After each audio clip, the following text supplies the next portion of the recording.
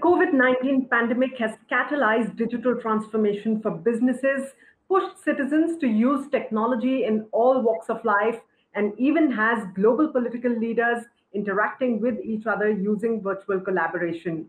While this all pervasive use of technology has indeed kept us afloat through the pandemic, it has also opened up doors to increased risks of cybersecurity threats, data thefts, data breaches, etc. And that's what we're here to talk about. Hello and welcome to Forbes India Presents The Future of Cybersecurity, powered by Trend Micro. I'm Vidhu Bhandari.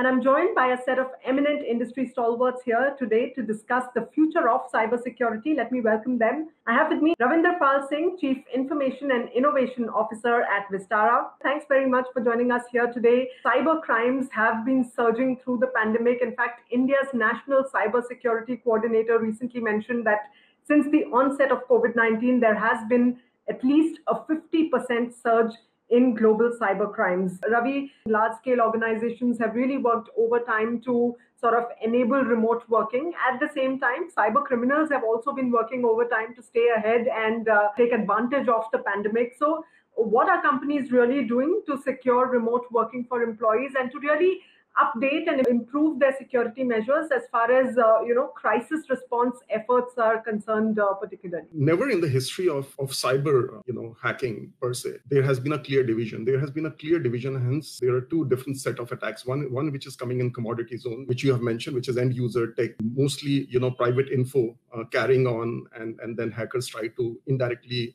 uh, create a corporate threat. But the other one, which is fierce and ferocious, is the one which is in the industrial and specialized domain, uh, mostly nuclear plants, defense aircrafts, oil rigs. They are far more complex. The first one, uh, which is in commodity zone, can be handled, you know, through proper monitoring, VAPT, and all those kind of stuff. If you have a strong NOC and SOC, then you can do that.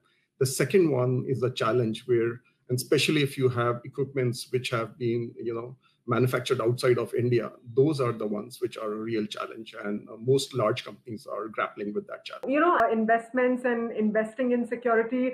Ravi, we've also been seeing the rise of digital forensics in recent years. While, uh, you know, these were earlier used by authorities to look for evidence against lawbreakers. We're also seeing increased usage of digital forensics by IT security and legal teams of businesses is this an effective route for fraud detection? Uh, what do you think? And what are some of the challenges that are associated uh, with digital forensics in particular?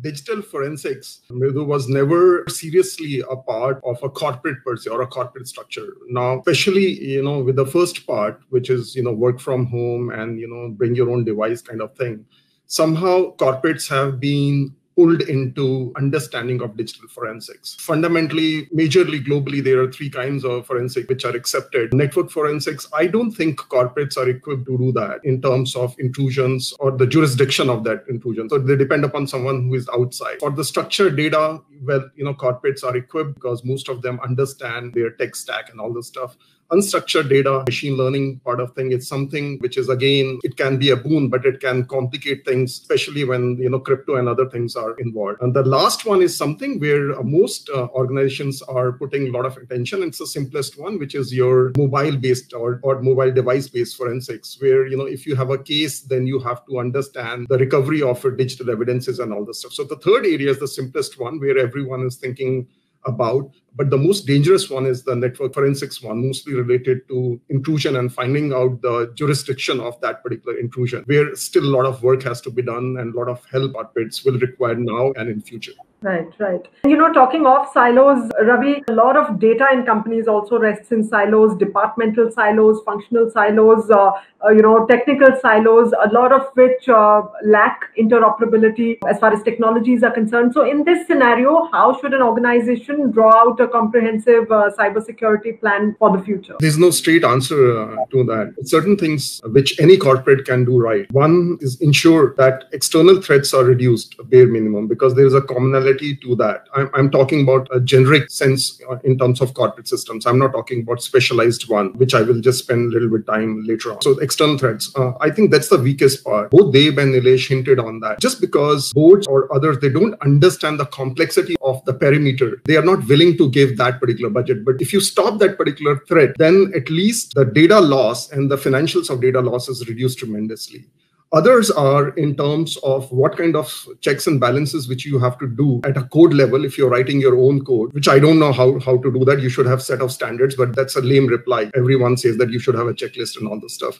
That comes with uh, discipline and, and the quality of developers. But the other stuff which you can have, which the platforms which you buy or out of shelf products which you buy, uh, keep them updated, keep them patched, make sure your VAPT is an actionable report, take it seriously. Okay uh, those are the simple, uh, common sense, practical things which any organization can do uh, without even spending um, uh, you know much budgets on them. But external one, I think almost every, especially in India, almost everyone has to do more in terms of spend and ensuring that their perimeter is uh, secure. Right. There is also a rise in hyperconnectivity of people, of processes, data, objects, all of that getting linked to the internet more and more critical data is being stored uh, that related to our health, our finances, etc., on cloud.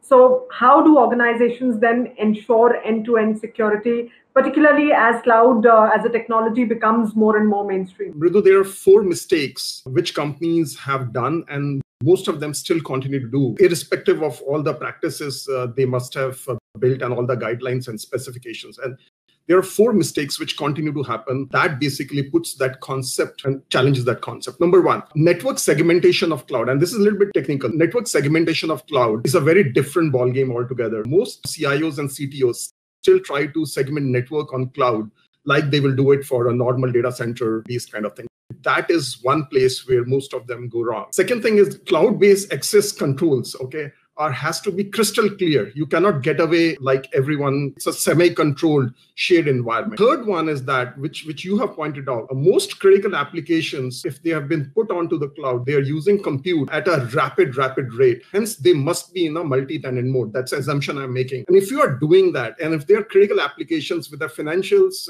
uh, related to it, then liability becomes very critical. And if those uh, cloud are multi-cloud environment, be very, very clear about liabilities. Include your legal team teams more than operational team. Architecture literally dictates the liability and the legality of that particular cloud. These four things, if you set up right in a cloud environment, I don't think any organization will fail uh, from the info, at least from the infosec perspective, if it is a cloud computing architecture.